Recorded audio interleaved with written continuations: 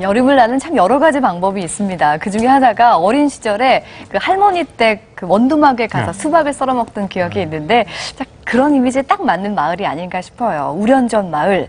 이곳은 해발 700m 이르기 때문에 굉장히 고지대라 더위를 모르고 그러니까. 지내신다고 하더라고요. 여름에도 더위를 잘 모르겠습니다. 네. 두 남자가 오지로 볼 때마다 느끼는 건데 아무리 오지라고는 하지만 늘 이 사람 사는 냄새, 이 사랑의 흔적이 참 배에 나오는 것 같아서 보기가 좋고 요즘 젊은 사람들 뭐 여름 휴가다 하면 늘 뭐 해외로 나가고 그 그렇죠. 런 모습 많이 보는데 그 할머니 할아버지 보기 위해서 서울서부터 아이들 세 명 데리고 그러게요. 이렇게 찾아오는 그 손주들의 효심을 보고 참 마음이 뭉클했고 네.